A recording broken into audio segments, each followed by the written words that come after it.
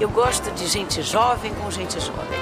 E não de gente mais velha, metida com gente moça, entendeu? Agora parece que é moda, né? Mulheres de quase 50 anos correndo atrás de rapazes de 20, 25. Ai, somos mulheres carentes que precisam ficar grudadas nesses rapazes para se sentirem valorizadas.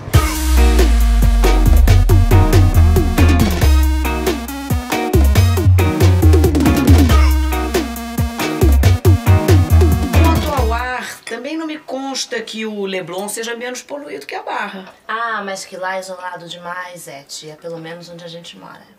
Você também quer se mudar pro Leblon? Você é uma bruxa, Helena? Ou uma fada? Porque as fadas e as bruxas têm os mesmos poderes. Nossa, você já me tirou o sobrinho, agora vai me levar a sobrinha também?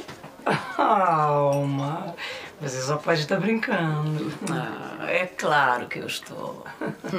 Tenho que ir, tia. Se você ficar, a Trindade me leva. Não, não, não. Eu vou também. O Danilo e o meu grupinho de sempre, eles estão me esperando pro jantar.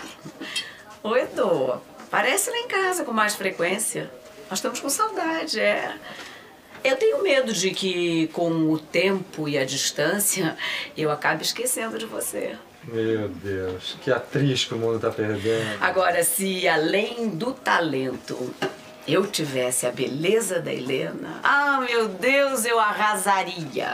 Arrasaria no palco, como você, Helena, arrasa na vida real.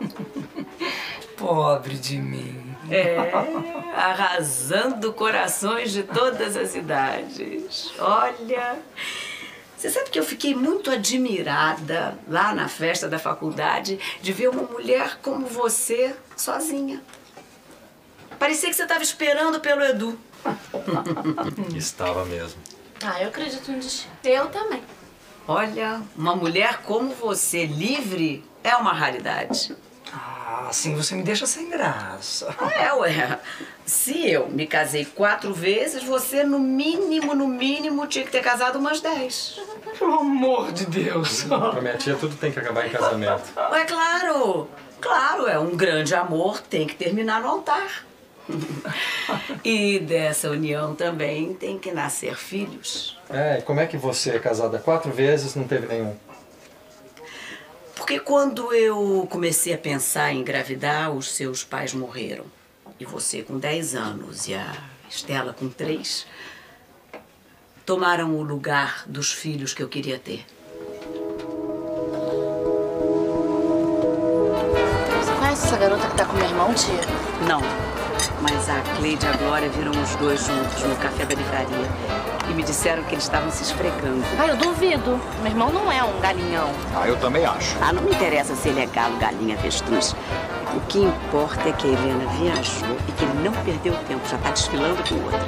E que a outra é jovem e bonita. Isso é o que interessa. Ai, eu gostei de você, Camila. É, eu gosto de gente jovem com gente jovem. E não de gente mais velha, metida com gente moça, entendeu? Agora parece que é moda, né? Mulheres de quase 50 anos correndo atrás de rapazes de 20, 25. Ai, somos mulheres carentes que precisam ficar grudadas nesses rapazes para se sentirem valorizadas. E com isso elas acabam prejudicando a carreira de quem está começando uma vida profissional, querendo casar de verdade, ter filhos, ter família. Graças a Deus o Edu, o Edu tá se livrando de uma desgraça dessas. É porque ele não precisa de mãe nem de tia.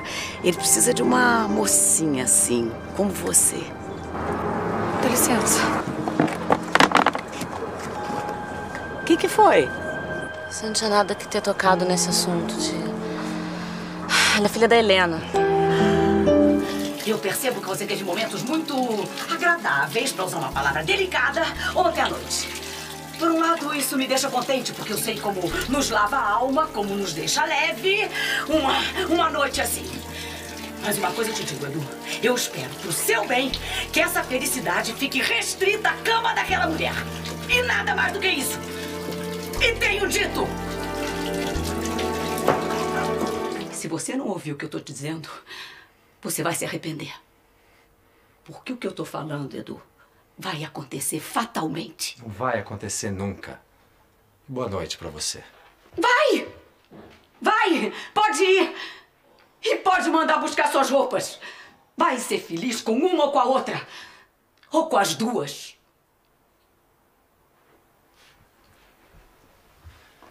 E não é verdade o que você costuma dizer pra todo mundo, pra se valorizar, de que não quis ter filhos pra cuidar de mim e da Estela. Como não é verdade? Porque nunca pôde ter filhos. Quê? É estéreo. Eu sei disso há muito tempo. É estéreo. Eu e Estela não substituímos os filhos que você não quis ter, mas aqueles que não pôde ter. E nisso vai uma grande diferença.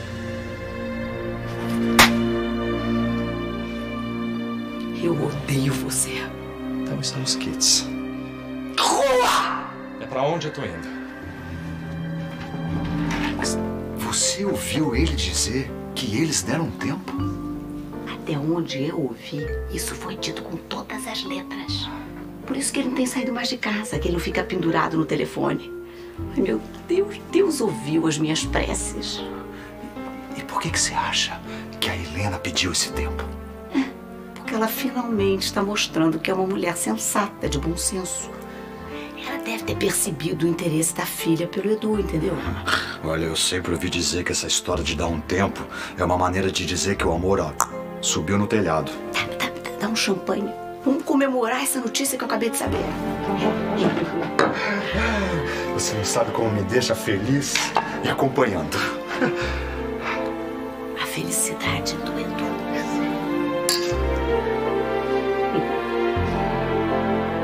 Meu Deus, você se recusa a enxergar uma coisa que está tão clara? Esqueça o Edu. Ele e a Camila formam um lindo par. Meu Deus, eles falam dos mesmos assuntos, eles riem das mesmas coisas. Eles gostam das mesmas músicas, dos mesmos filmes.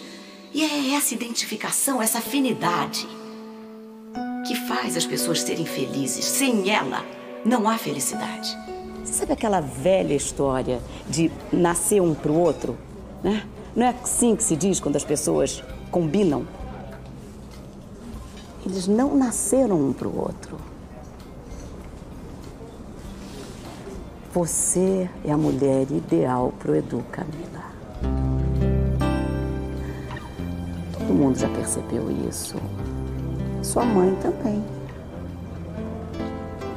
Alguns imóveis foram vendidos por sua tia quando você ainda era menor. Agora, o que foi vendido depois que você completou a maioridade foi com seu consentimento.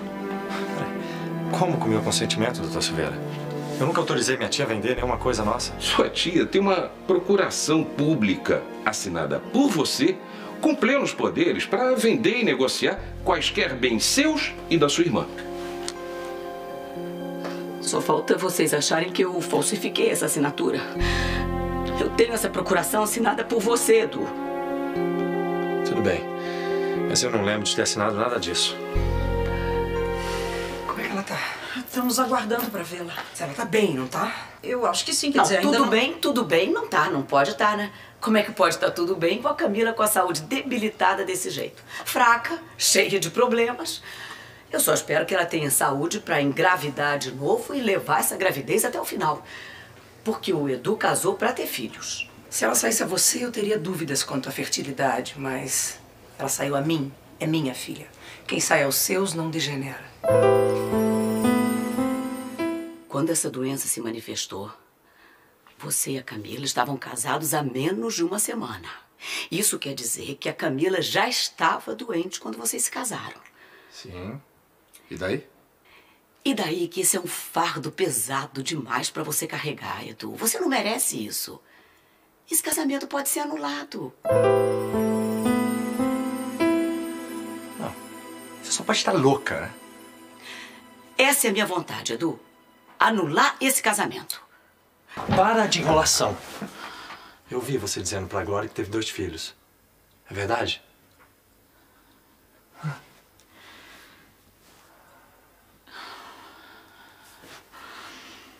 É. É verdade, Edu. Gêmeos. Gêmeos, tia. E? O que, que, que meu pai tem a ver com isso?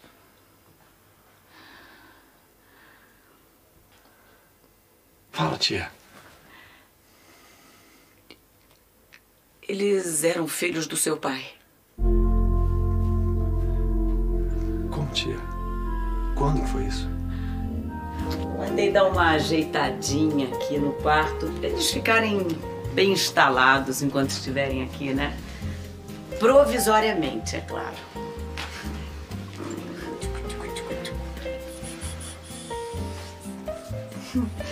O menino é a cara do Danilo. Que cara do Danilo? Imagina, os dois são parecidíssimos com a Rita, que aliás era uma moça muito bonita.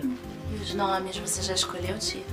Eu acho que eu vou ficar mesmo com Álvaro e Margarida. E o Danilo, amor, o que, que ele acha? Que Danilo? O que, que tem o Danilo? Você acha que ele tem que dar algum palpite nesse assunto? Ele é o pai, tia.